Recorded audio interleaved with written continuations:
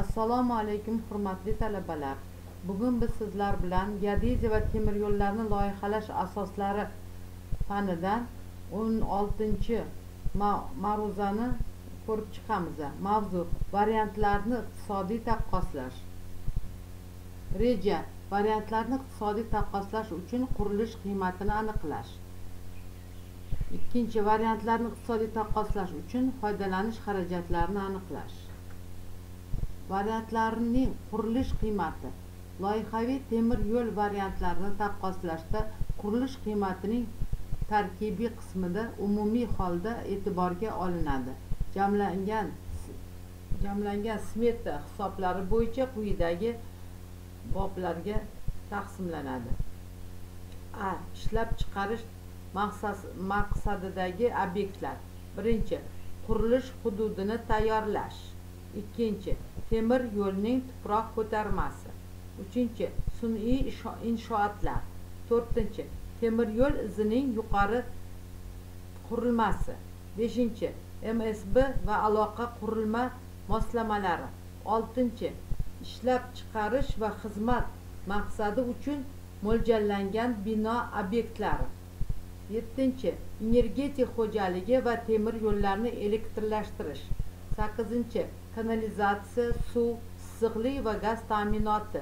To'qqizinchi foydalanish asbob uskunalari. O'ninchi vaqtinchalik bino va inshootlar. O'n birinchi boshqa ish va xarajatlar. O'n ikkinchi qurilayotgan korxona direksiyasini saqlash va mualliflik nazorati. O'n uchinchi loyihaviy va qidiruv ishlari. Undan tashqari kutilmagan ishlar va xarajatlar e'tiborga olinadi. B. Fuqarolik uy joy obyektlari qurilishi.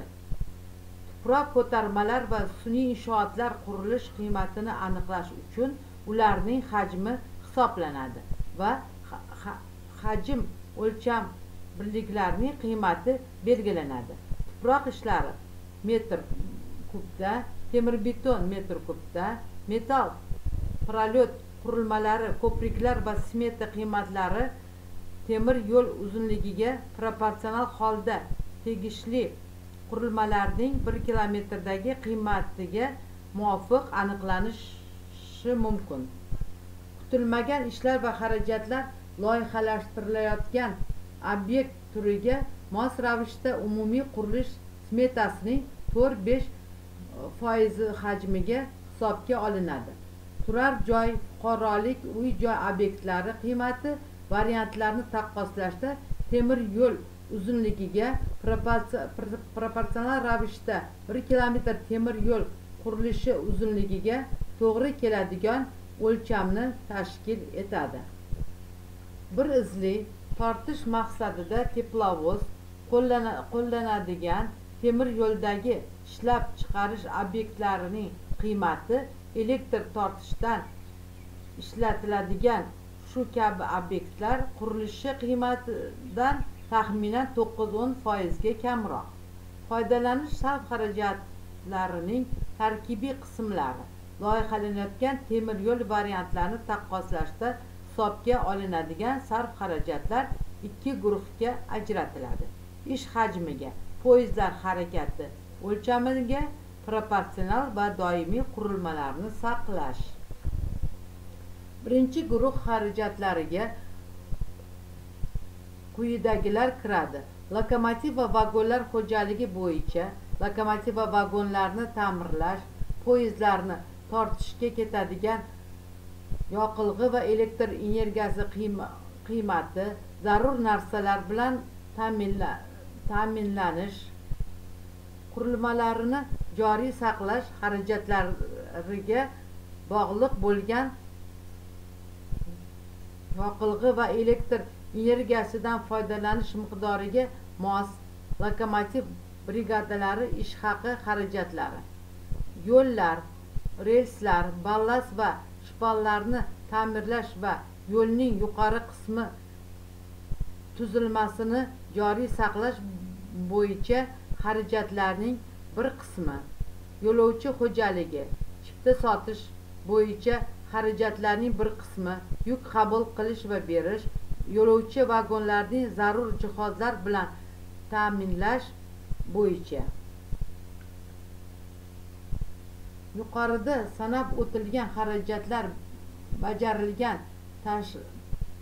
tashish ishlari hajmiga to'g'ri proporsional bo'lib poyezdlar soni tashilgan yuk miqdori va yo'lovchilar soniga mos ravishda hisoblab topiladi.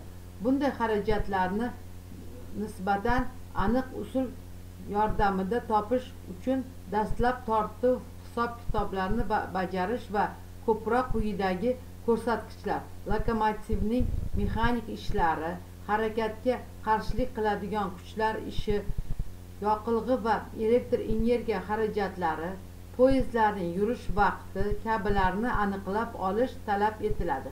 Bu ko'rsatkichlar yo'l uzunligiga trassa variantlarining plan va bo'ylama profiliga lokomotiv rusumiga va tarkibning og'irligiga bog'liq.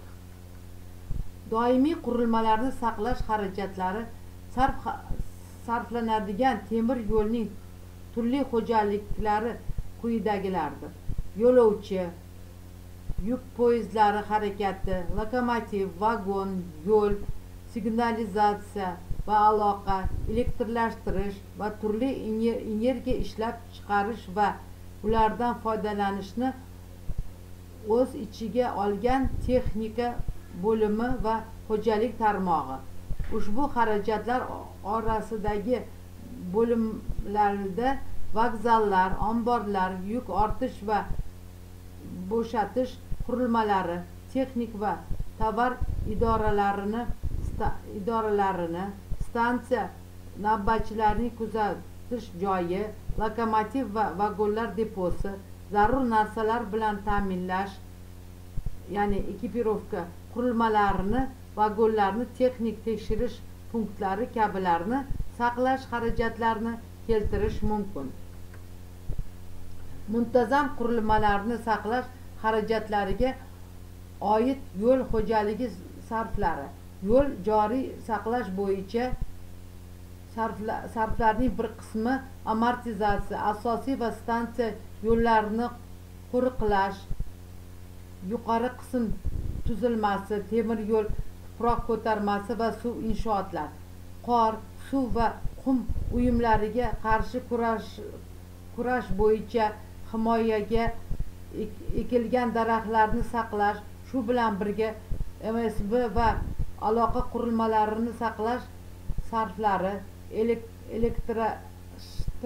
elektrlashtirilgan temir yo'lning kontakt tarmoqlari va elektroenergiyani masofaga uzatish bo'yicha bo'ylama yo'li. Muntazam qurilmalarni saqlash bo'yicha xarajatlar yo'l uzunligiga proporsional oraliq alohida punktlarga va elektr kuchini transport transportlarga moslab beradigan podstansiyalarni saqlash xarajatlari. Bu inshootlar soniga proporsional holda aniqlanadi. E'tiboringiz uchun rahmat salomat bo'ling.